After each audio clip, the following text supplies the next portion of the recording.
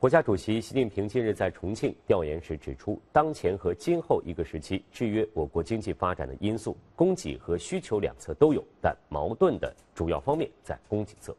要加大供给侧结构性改革力度，重点是促进产能过剩有效化解，促进产业优化重组，降低企业成本，发展战略性新兴产业和现代服务业。